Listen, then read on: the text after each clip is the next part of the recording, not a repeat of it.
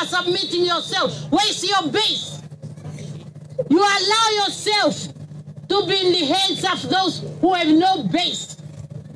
When you are leaving a strong foundation that has been growing over the years, now we are seeing the result.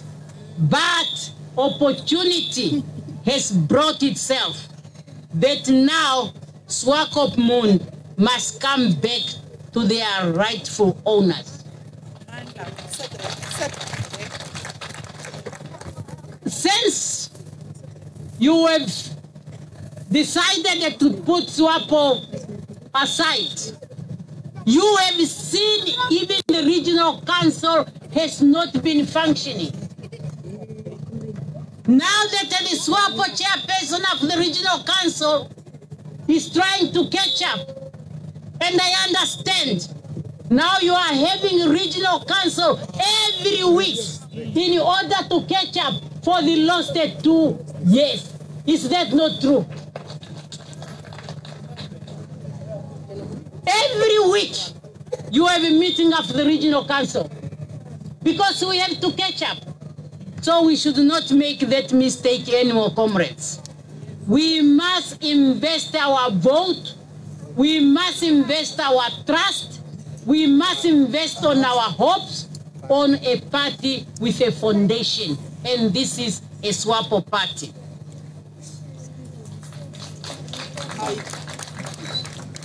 Yes, people who have interest of the country at heart, they know exactly what to do. Those who have the interest of the country at their heart, they know what to do. And that is why we are here today, joined by the leadership of the Christian Democratic Voice. They have the interest of the country at heart. They have the interest of the Namibian at heart. And we really congratulate you.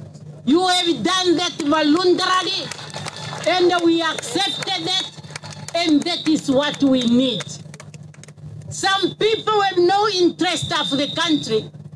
They think the more political party you have in the country, the more democratic you are. How many political parties in America, which is an old democratic, which is uh, everybody's talking about, only two. And what is the population of America? It's in millions. Now a country with a population of just over 2 million and you want to be divided in small, small pieces. That is anti-development. And we should not allow that to happen, comrades. We should not allow ourselves to be divided when they are not dividing themselves. But we are being encouraged. You hear groups coming from Europe, they are supporting this, they are supporting this. It's more democracy. Why don't they want democracy in their own countries? So, therefore, that is a lesson we have learned. That you cannot just vote for a change which is meaningless. You see the result of stagnation in the development of the town. But it's not too late. I, for one, don't believe on a mistake. It's only a mistake if you don't want to correct it. Now that you, are, you have decided to correct this mistake, make sure that on the 12th of August, you have voted for the SWAPO candidate. Besides that, we have not been in charge in Erongo. We have been taking care of the people of Erongo. One unfortunate situation that happened is our people in the fishing industry who have lost their jobs. They have lost their job, but our government has already put in place a program to recruit them back. And if you are honest and sincere, you must know some of them who already got their job. Is that not true? Is that not true? Now, if we have those who already got their jobs, why do you want anybody to mislead you to say that we are doing nothing, we don't care?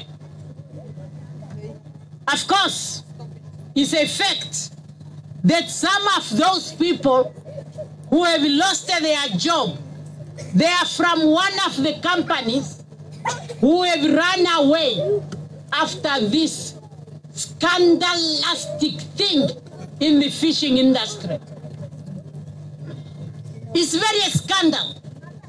It's a scandal because since independence, we have been putting in place all mechanism, all processes, all policies to safeguard our fishing industry. And we started very well. And it was contributing significantly to the economic growth and development of our country. But because there are those who are jealous and against us, unfortunately, they ended up and, eh, eh, eh, and make use of our, some of our citizens in order to undermine this fishing industry. But we have our laws, we have our procedures. That's why we have two cabinet ministers who are now in prison. We cannot defend the wrong. Let the law take its course. But the reality is, we are working hard to make sure that those who are unemployed, those who have lost their job because of this scandalous activity which had attacked our fishing industry, they will be helped. And the Minister of Fisheries here, he can testify that we are hard at work to make sure that they got their employment. Comrades, Swapo Party.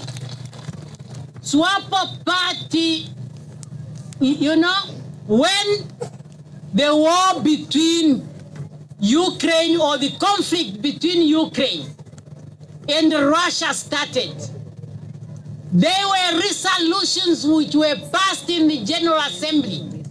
There were resolutions which were passed in the Human Rights Council. But SWAPO, the government, led the government. We say we are not going to party to that. The reason is we believe in negotiations. We believe that problem must be solved through negotiations. And that has come out clearly when there were difference between the government and the, uh, and the trade union when it comes to the issue of salary increase. We all agree that for some times our workers, our civil servants, they understood the economy of our country and they still understand the economy of our country. At the same time, our government understand that we really need to improve on what we are giving to our civil servants. And through negotiation, which we believe on, at home and abroad, abroad, a compromise was found. Thank you to the Namibian workers. Thank you for your understanding. A strike in Namibia at this time, it was going to be a disaster. When we are already trying to recover from the COVID pandemic, and it was going to affect everybody, including the private sector, including the workers themselves.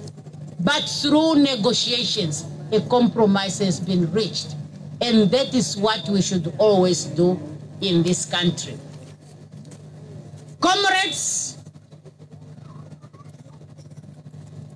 we have a responsibility to ensure that there is proper service to our people. And we can assure you that with Comrade Nehemiah as our counselor, that is going to be done. They are trying all things that can mislead our people.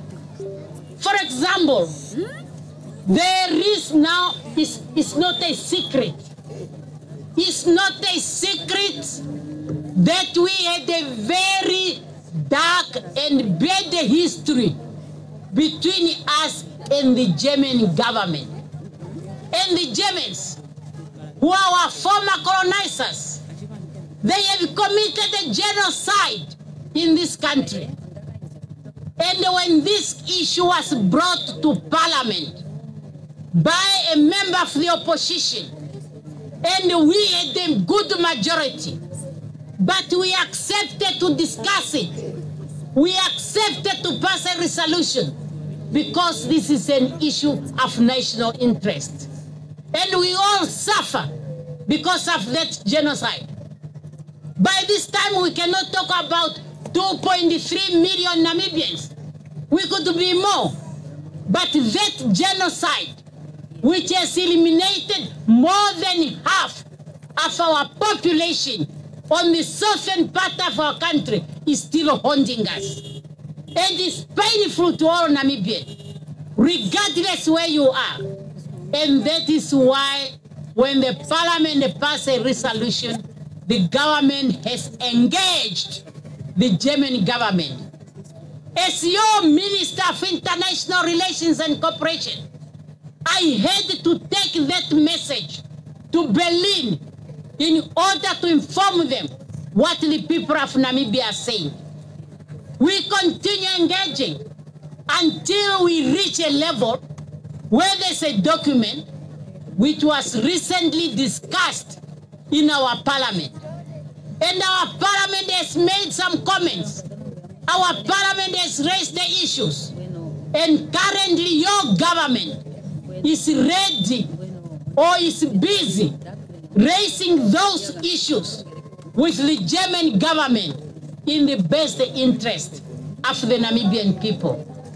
Now there are those who are going around misleading our people, saying that they are the ones who are doing it.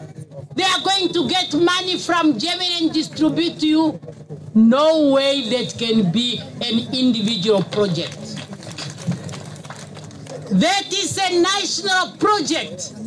And our government has already agreed that once the implementation is coming, it will focus in seven regions where we have the majority of the descendant of those who were victims or who are victims of the genocide. And these regions are Karas, Hardap, Khomas, Omaheke, Otjozondjupa, Kunene, and Erongo. Can that be clear to everybody? Don't be misled. Don't be misled, comrades. 10 and 11, am I right, comrades? 8 to 11, for you to go to their main office in Swakopmund to get your duplicate. Did we got that, comrades? It's very important. Those of you who have lost your cards, one way or the other, make sure you make use of those days from the 8th to the 11th to go to the office of the Electoral Commission in Swakopmund to get your duplicate. And from there, comrades, every day make sure you have seen your card. Make sure you look at it when you are waking up and when you are going to sleep. You know, we are we are living with people who are very desperate. They, your card can even disappear in the morning after the voting. So that's why it's important that twice a day you must see that card eh? To make sure that the SWAPO candidate has won. Now, I talked about the SWAPO candidate. And this is now the time for me to introduce the SWAPO candidate. You know, some people were looking at our national protocol that when a senior speaks, no one else can speak. Who is a senior today?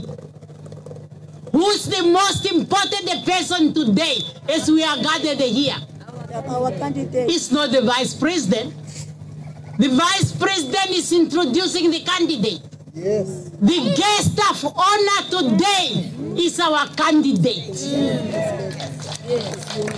The guest of honor is our candidate. And it's important that we hear that candidate to tell us that has accepted the assignment of the party. And we make sure that we give the candidate guest of honor. It's 1640. So please put on the song. We have to receive the guest of honor from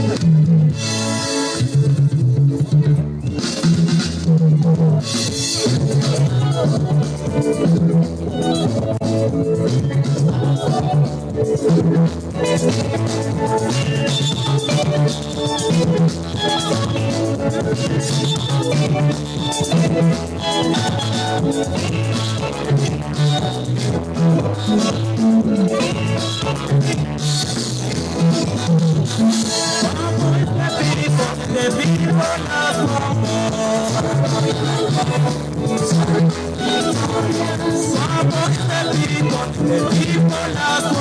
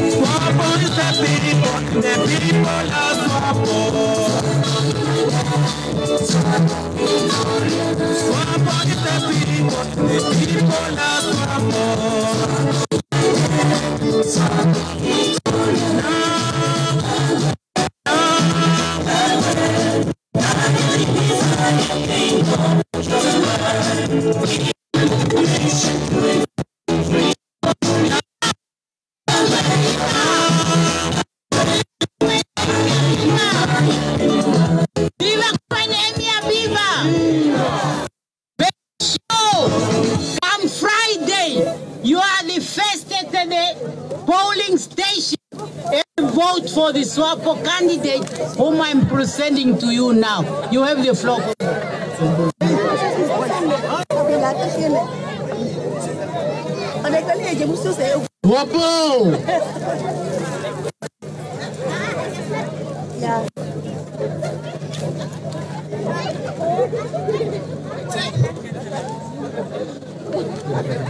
Swapo!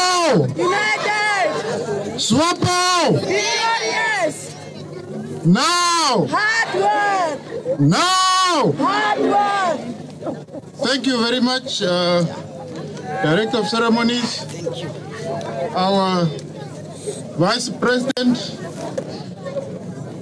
Our Uh, the guest of honor is speaking. We want quiet. Thank you. Thank you, please. Give him an opportunity to say one word. Quiet, quiet, quiet. Thank you. Kalma di tengah sa. Thank you. Also in the tent, thank you. Thank you.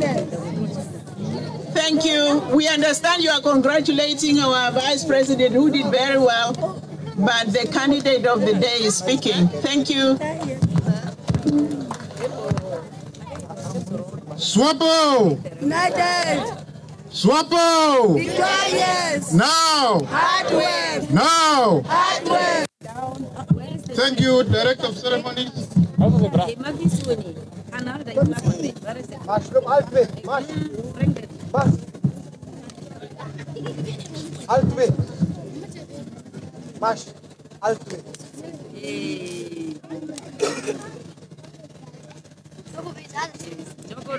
Director of Ceremonies. Our Vice President of our Might Swapo Party.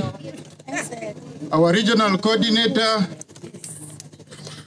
our Honorable Governor of Erongo, please allow me to stand on the protocol as established. I'm proud and I'm very, very honored and exceedingly happy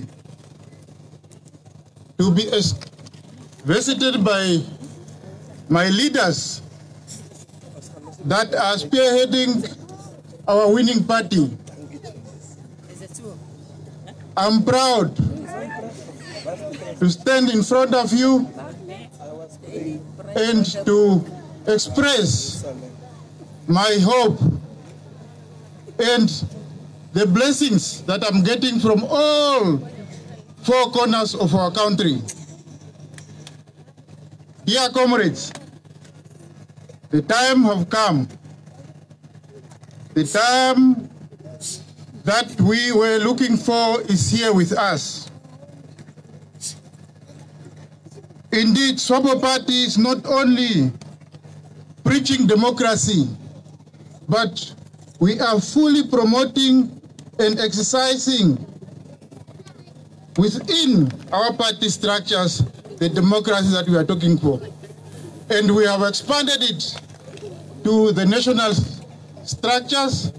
We have expanded it to accepting that ECN should run the election affairs of our country.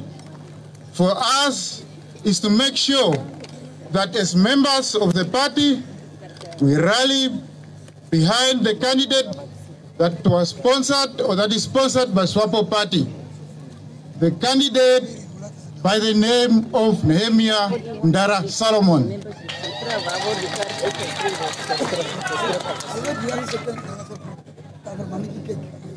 Comrade, we should be, be mindful that for us to get this constituency back, we should make sure that we have the right cards, that's the voters' cards. We should make sure that everybody wakes up, comes the 12th of August, line up at all the polling stations and go vote right. And I think our song that we've been preaching, we normally don't say go cross. We have got a nice song that we all of us have been practicing for all this time. That is to go and do what? Walk. Walk. What are we expected to go do? Walk. Walk. We owe, we owe to ensure that the future of our generation, the future of our members, the future of our citizens are in good hands. We owe it to our residents of Swakopmund, to this constituency, and all of us are witness to what happens within these two years ago. There was nothing that we can touch on. There was nothing or there's nothing that we can leak. There is nothing that we can attest that really the councillor that was here did something for this community. Please, I have accepted the assignment given by my mighty party.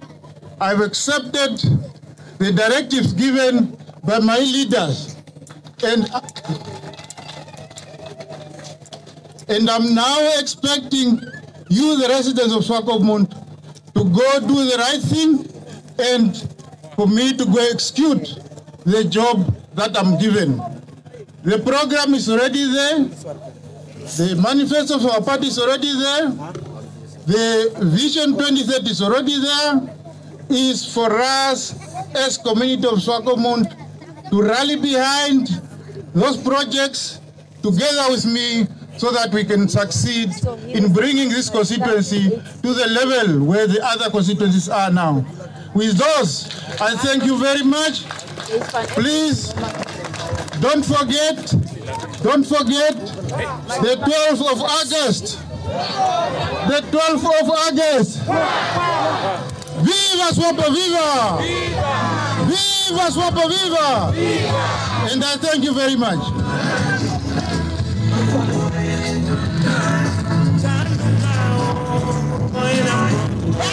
Your candidate. There you have him. There you have him. Go work, work. Okay? Thank you very much, candidate of the day. Um, we, we have been speaking in English for a long time, but we know that the majority of our people would like to hear it in the language they understand. So I'm going to call on uh, three translators um, to, to help us summarize what has been happening here. Uh, can I kindly have um, Comrade Shilunga? Brian Afrikaner. Comrade Shamaha. So we have um, Oshiwambo, Afrikaans, and Otjiherero. Kindly come to the podium to help us. Um, N117839 Windhoek, your light is on. So please make sure you go and put it off. N117839 Windhoek. Otherwise, you won't be able to drive from here. Thank you.